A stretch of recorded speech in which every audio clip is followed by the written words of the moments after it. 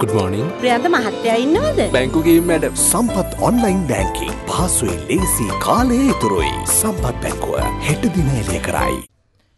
මෙම හමුව සඳහා සියලු දේශපාලන පක්ෂවල ලේකම්වරුන් මෙන්ම සිවිල් සංවිධාන නියෝජිතින් සහ පොලිසියද එක්ව සිටියා.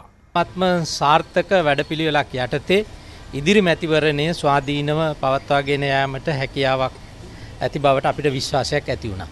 අපි බලාපොරොත්තු වෙනවා පෙර මැතිවරණයට වඩා යුක්ති සහගත සාධාරණ මැතිවරණයක් පැවැත්වෙයි කියලත් නැත්නම් පාර්ලිමේන්තු විශ්වහැරලා නාමජනා කතා කරාට පස්සේ රාජ්‍ය ආයතනවල පත්වීම් ලබා දීම නීති විරෝධී නිසා ඒ සම්බන්ධයෙන් එතුමා ඒ ආයතනවලට මැදිහත් වෙනවා කියලා කිව්වා.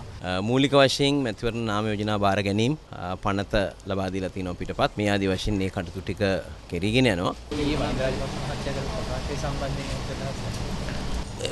ඔව් ඉතා ඉතාම මම දැක්කා මේ මේ බොහොම සිත් ගන්නා සුළු ප්‍රකාශයක් එතුමා කළා. ඉතින් ඒ ප්‍රකාශයේ මල් පැලගෙන වෙන්න හැටියට කටයුතු වුණොත් මම හිතනවා අපිට ඉතාම හොඳ මැතිවරණයක් කළා සන්ධානයේ හැටියට හෝ එතුමා ජයග්‍රහණ එතුමා තරඟ කරන ආකාරයට ඒ ජයග්‍රහණය ලබා ගන්න පුළුවන් වෙයි. නෑ මම ඒක සම්පූර්ණයෙන් ප්‍රතික්ෂේප කරනවා ඒ SLP-ගේ ප්‍රෙස් එකේ හිටපු අය මම හිතන්නේ දැනුවත් වීමක් වෙලා නැතුව ඇති.